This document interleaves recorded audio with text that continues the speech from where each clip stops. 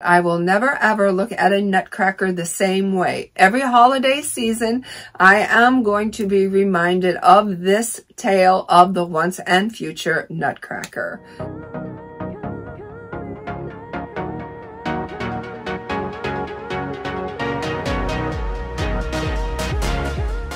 Hello, book friends. My name is Flo, and this is the Grape Jelly Library, where we love to talk about books. Hello, and thanks for joining me. I always look forward to your visit.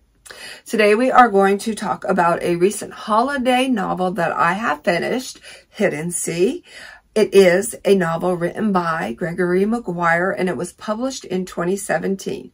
It clocks in at about 387 pages long. It is an adult sci-fi fantasy fairy tale with darker undertones of Brothers Grimm fairy tale kind of vibe to it.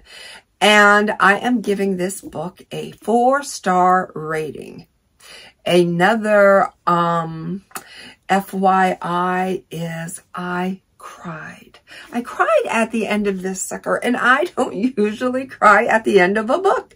The last book that I remember crying um, during the ending was Meredith May's The Honey Bus, and that was about three years ago, so I've read quite a bit of books since then with no crying, and I have read quite a bit of books prior to that one with no crying. So when a good cry sneaks up on you, you have no choice but to um, give a book a four or a five star rating. Um, the reason I didn't give this book a five star rating is because there were certain parts of the book that I feel should have been left out. I don't feel it was necessary to mention. And also, um, the middle part was a little bit drawn out for me and not enough to make me bored or DNF it. Uh, but I did find myself saying, you know, is this necessary? Do not let that deter you from reading this book because upon completion of it and then reflection of it, I, I do see that the middle was necessary in building the end, um, in helping us to arrive at our destination and the impact that the end would have. Um, beautiful ending and didn't see didn't see it coming that I was going to cry, but um, as the words started to process in my mind, the tears started to fall and yeah, so um, this is the story of a foundling who lives with an old man and an old woman in the Black Forest. One day, when it is decided that there's one too many mouths to feed, the old woman um, tells the old man, take this young one out into the forest and get him gone. While out in the forest, there is the loss of an eye, the injury to a leg, abandonment, the discovery of a forest animals who talk to one another, and a disgruntled, disgruntled gnome attached to the top of a knife blade.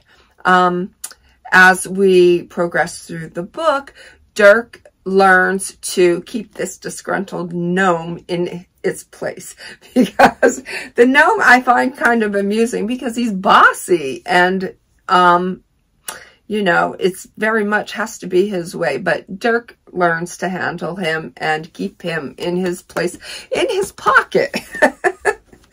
and sometimes has to verbally, you know, reprimand him. But um, it is, it's fun. It's a fun um, kind of book to get yourself trapped in. Yeah. But um, anyways, Dirk is left to figure out this cruel world and what his next move is going to be. So he finds himself arriving at the doorstep of a type of Catholic home for boys where he is christened with the surname Drosselmeyer. Now, as the book plays out, his name becomes elongated so that he may grow into the character or the person that he is to eventually become. And although Drosselmeyer never married or had any children of his own. He is very, very good with children and he finds himself throughout his life taking care of other people's children. The book takes us on many adventures. Um, it basically tells the whole story of the toy maker. It isn't until the end of this book where the beauty of this story really starts to shine through. He is discovering his own childhood through these children in the book and he enjoys taking care of these children. But there's something very very special about this little girl and he wants to protect her at all costs.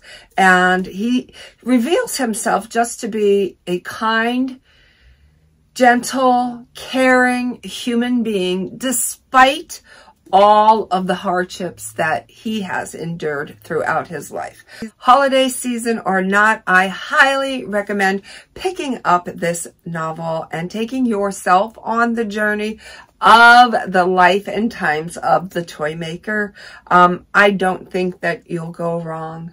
It is a wonderful, magical, lovely, beautiful story. And you should find out about it. Until my next video, know that I love you. Be well, be good, be reading.